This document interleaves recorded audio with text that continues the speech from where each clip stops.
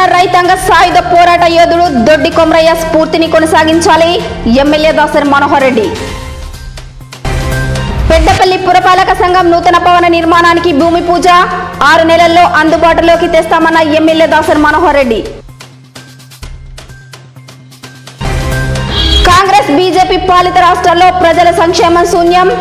రాష్ట్ర పంచాయతీరాజ్ శాఖ మంత్రి ఎర్రవెల్లి దయాకర్ రావు.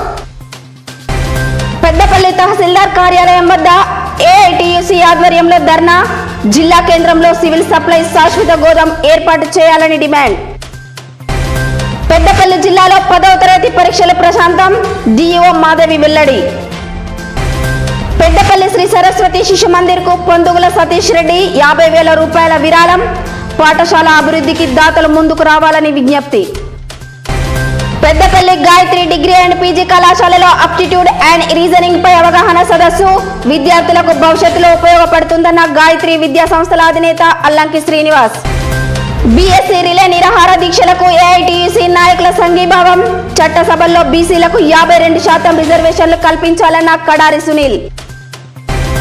ఢిల్లీ జంతర్ మంతర్ వద్ద జాతీయ బీసీ సంక్షేమ సంఘం ఆధ్వర్యంలో ధర్నా. పాల్గొన్న పెద్దపల్లి జిల్లా బీసీ నాయకులు. నెల్లూరులో సీఎల్పీ నేత బట్టి విక్రమార్క పాదయాత్ర పాల్గొన్న పెద్దపల్లి మాజీ ఎమ్మెల్యే విజయరమణారావు. పెద్దపల్లిలో కుర్మ సంఘం ఆధ్వర్యంలో దొడ్డి కొమరయ్య జయంతి వేడుకలు అధికారికంగా నిర్వహిస్తున్న ప్రభుత్వానికి కృతజ్ఞతలు తెలిపిన ఎల్లస్వామి.